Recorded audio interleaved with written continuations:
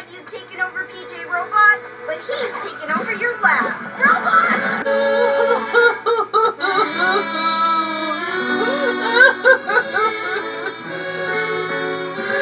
This was a course of a typical morning.